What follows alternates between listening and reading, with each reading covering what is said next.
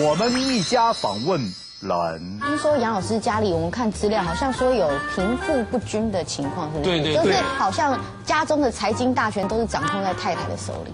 我家有钱温泉这个这个不符合公平正义的原则。对啊，这个是你毕生追求的，不是？这个这个这个这个。这种这个问题有比二代鉴宝难回答。今晚十一点，请准时收看《我们一家访问人》。